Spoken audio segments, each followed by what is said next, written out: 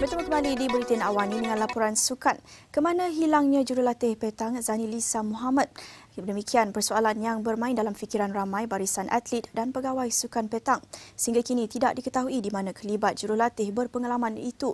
Zani Lisa masih belum lapor diri walaupun sukan si Filipina hanya berbaki kurang 100 hari saja lagi.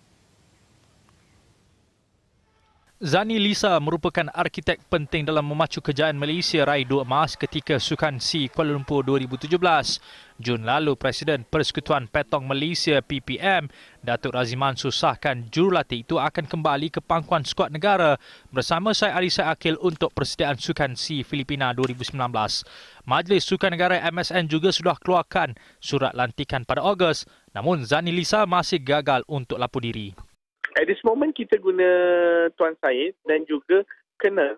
Memang itu memang official yang ni lah. Yang Jani ni kalau still still dindong then we cannot uh, apa nama uh, give uh, priority for this kan. So I think has to be clearly uh, smooth and tak nak ada apa-apa masalah. Dalam masa yang sama, Razi akan membuat satu mesyuarat bersama kesemua ahli exco dalam usaha melakukan rayuan terhadap persekutuan antarabangsa petong dan permainan provincial FIPJP yang menggantung mereka sejak Julai lalu.